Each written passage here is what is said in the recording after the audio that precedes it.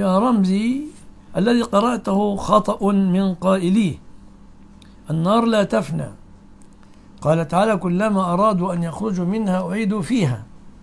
ونادوا يا مالك ليقضى علينا ربك. قال إنكم ماكثون.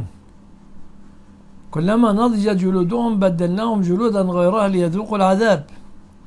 يؤتى بالموت في صورة كبش أملح. فيوضع بين الجنة والنار وينادى يا أهل الجنة خلود فلا موت ويا أهل النار خلود فلا موت.